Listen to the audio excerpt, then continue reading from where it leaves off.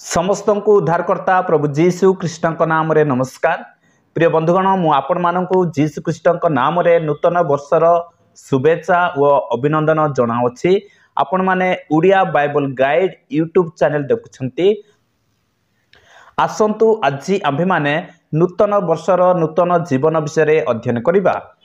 ନୂତନ ବର୍ଷରେ ନୂତନ ଜୀବନଯାପନ କରିବା ପାଇଁ ଆମ୍ଭମାନଙ୍କୁ କେଉଁ ଗୁଣଗୁଡ଼ିକ ଆବଶ୍ୟକ ଅଟେ ଏହି ବିଷୟରେ ଆଜି ଆମ୍ଭେମାନେ ଅଧ୍ୟୟନ କରିବା ପ୍ରଥମରେ ଆମ୍ଭେମାନେ ଦେଖିବା ସତ୍ୟ ଓ ପ୍ରେମରେ କଥାବାର୍ତ୍ତା କରିବା ପ୍ରିୟ ବନ୍ଧୁଗଣ ଏହି ବିଷୟରେ ବାକ୍ୟ କ'ଣ କୁହେ ତାହା ଆଜି ଆମ୍ଭେମାନେ ଦେଖିବା ଦ୍ୱିତୀୟରେ ମୁଖରୁ କୁବାକ୍ୟ ନିର୍ଗତ ନ ହେଉ ପ୍ରିୟ ବନ୍ଧୁଗଣ ଏହି ବିଷୟରେ ମଧ୍ୟ ବାଇବଲ କ'ଣ କୁହେ ତାହା ଆମ୍ଭେମାନେ ଦେଖିବା ତୃତୀୟରେ ଆମ୍ଭେମାନେ ଦେଖିବା ଅସାର ଓ ହାସ୍ୟ ପରିହାସ କଥାବାର୍ତ୍ତା ଆମ୍ଭମାନଙ୍କ ମଧ୍ୟରୁ ନ ହେଉ।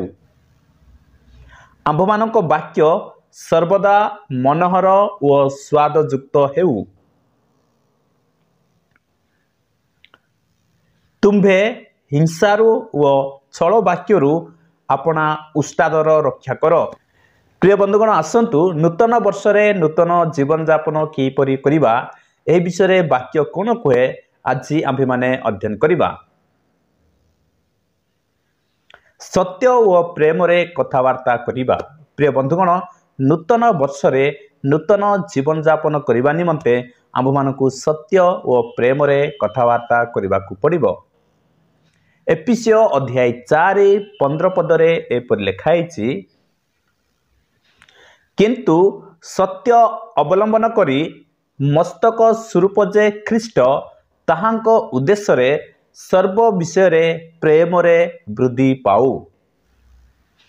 ଏପିସିଓ ଅଧ୍ୟାୟ ଚାରି ପଚିଶ ପଦ। ଅତେବ ମିଥ୍ୟା ପରିତ୍ୟାଗ କରି ତୁମ୍ଭେମାନେ ପ୍ରତ୍ୟେକ ଜଣ ଆପଣା ପ୍ରତିବାସୀ ସହିତ ସତ୍ୟ ଆଳାପ କର। କାରଣ ଆମ୍ଭେମାନେ ପରସ୍ପର ଅଙ୍ଗ ପ୍ରତ୍ୟଙ୍ଗ। ପ୍ରିୟ ବନ୍ଧୁଗଣ ଏହି ନୂତନ ବର୍ଷରେ ନୂତନ ଜୀବନଯାପନ କରିବାକୁ ହେଲେ ଆମ୍ଭମାନଙ୍କୁ ସତ୍ୟ ଅବଲମ୍ବନ କରିବାକୁ ପଡ଼ିବ। କାରଣ ଆମ୍ଭେମାନେ ଯୀଶୁଖ୍ରୀଷ୍ଟଙ୍କୁ ବିଶ୍ୱାସ କରିଅଛୁ। ବାକ୍ୟରେ ଲେଖା ହେଇଛି ଯେ କେହି ଖ୍ରୀଷ୍ଟଙ୍କ ଠାରେ ଅଛି ସେ ନୂତନ ସୃଷ୍ଟି ହୋଇଅଛି। ଆମ୍ଭେମାନେ ନୂତନ ସୃଷ୍ଟି ହୋଇଅଛୁ। ନୂତନ ବର୍ଷରେ ଆମ୍ଭେମାନେ ସତ୍ୟ ଅବଲମ୍ବନ କରିବା। ନୂତନ ବର୍ଷରେ ନୂତନ ଜୀବନଯାପନ କରିବା ନିମନ୍ତେ ଆମ୍ଭେମାନେ ମିଥ୍ୟାକୁ ପରିତ୍ୟାଗ କରିବା। ଏବଂ ଆମ୍ଭେମାନେ ସର୍ବଦା ପ୍ରତିବାଦ ସହିତ ସତ୍ୟ ଆଳାପ କରିବା। ମୁଖରୁ କୁବାକ୍ୟ ନିର୍ଗତ ନ ହେଉ। ପ୍ରିୟ ବନ୍ଧୁଗଣ ଏହି ନୂତନ ବର୍ଷରେ ନୂତନ ଜୀବନଯାପନ କରିବା ନିମନ୍ତେ ହେଲେ ଆମ୍ଭମାନଙ୍କ ମୁଖରୁ କୁବାକ୍ୟ ନିର୍ଗତ ନ ହେଉ। ଏପିସିଓ ଅଧ୍ୟାୟ ଚାରି ଅଣତିଶ ପଦ। ତୁମମାନଙ୍କ ମୁଖରୁ କୌଣସି କୁବାକ୍ୟ ନିର୍ଗତ ନ ହେଉ। ବରଂ ଆବଶ୍ୟକ ଅନୁସାରେ ନିଷ୍ଠାଜନକ ବାକ୍ୟ ନିର୍ଗତ ହେଉ। ଯେପରି ତାହା ଶ୍ରୋତାମାନଙ୍କ ଅନୁଗ୍ରହ ପକ୍ଷରେ ହିତଜନକ ହୁଏ। ପ୍ରିୟ ବନ୍ଧୁଗଣ ଆମ୍ଭମାନଙ୍କ ମୁଖରୁ କୁବାକ୍ୟ ନିର୍ଗତ ନ ହେଉ ଏବଂ ଆମ୍ଭମାନଙ୍କ ମୁଖରୁ ସର୍ବଦା ନିଷ୍ଠାଜନକ ବାକ୍ୟ ନିର୍ଗତ ହେଉ ଏବଂ ସଦାସର୍ବଦା ଆମ୍ଭେମାନେ ଅନୁଗ୍ରହର ବାକ୍ୟ ନିର୍ଗତ କରିବା ଏବଂ ସବୁବେଳେ ହିତଜନକ ବାକ୍ୟ କହିବା। ପ୍ରିୟ ବନ୍ଧୁଗଣ ଏପରି ଭାବରେ ଆମ୍ଭେମାନେ ନୂତନ ବର୍ଷରେ ନୂତନ ଜୀବନଯାପନ କରିବା। ଅସାର ଓ ହାସ୍ୟ ପ୍ରୟାସ କଥାବାର୍ତ୍ତା ଆମ୍ଭମାନଙ୍କ ମଧ୍ୟରୁ ନ ହେଉ। ଏପିସିଓ ଅଧ୍ୟାୟ ପାଞ୍ଚ ଚାରିପଦ। ପୁଣି ଯାହା ଯାହା ଅନୁପଯୁକ୍ତ ଏପରି କୁସିତ ବ୍ୟବହାର ବା ଅସାର କଥା ବା ହାସ୍ୟ ପରିହାସ ତୁମମାନଙ୍କ ମଧ୍ୟରେ ଦେଖା ନଯାଉ। ବରଂ ସମସ୍ତ ବିଷୟ ନିମନ୍ତେ ଧନ୍ୟବାଦ ଦିଅ।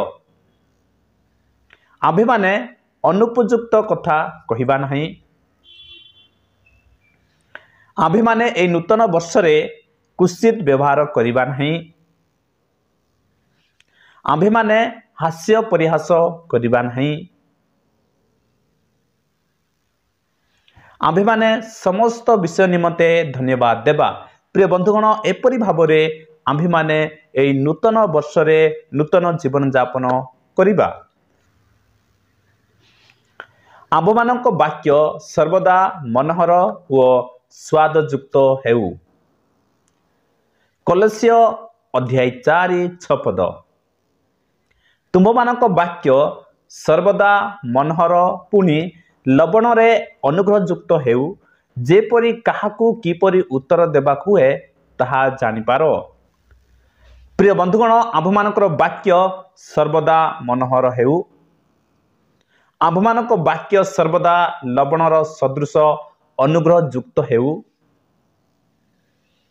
ହିତୋପଦେଶ ଅଧ୍ୟାୟ ପନ୍ଦର ଏକ ପଦ।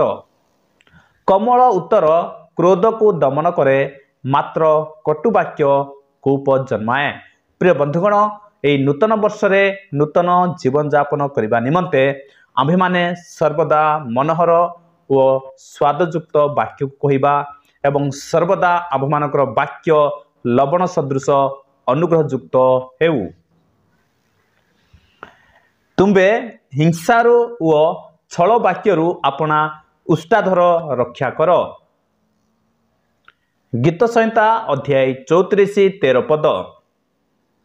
ତୁମ୍ଭେ ହିଂସାରୁ ଆପଣା ଯିବା ଓ ଛଳ ବାକ୍ୟରୁ ଆପଣା ଉଷ୍ଟାଦର ରକ୍ଷା କର। ଆମ୍ଭେମାନେ ହିଂସାରୁ ଆପଣା ଯିବାକୁ ରକ୍ଷା କରିବା। ଆମ୍ଭେମାନେ ଛଳ ବାକ୍ୟରୁ ଆପଣା ଉଷ୍ଟାଦରକୁ ରକ୍ଷା କରିବା।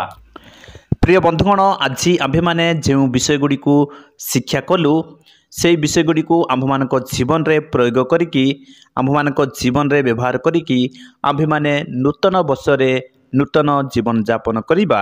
ଆଜିର ଏହି ବାକ୍ୟ ଦ୍ୱାରା ଈଶ୍ୱର ଆମ୍ଭମାନଙ୍କୁ ଆଶୀର୍ବାଦ କରନ୍ତୁ।